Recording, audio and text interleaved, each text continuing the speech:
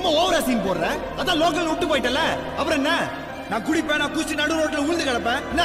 அதுக்காக நீ யாரு? நான் லவ் பண்றியா